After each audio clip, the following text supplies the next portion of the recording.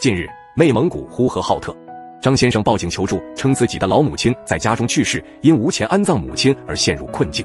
民警迅速赶赴现场，了解到报警人张先生年仅二十岁，今年年初同老母亲从外地来到台格木镇三间房村暂住，母子二人靠打零工维持生计。当晚，老母亲身体不适，溘然长逝。更不幸的是，家庭存款仅有一千余元，就连火化后续的丧葬费也成了大难题。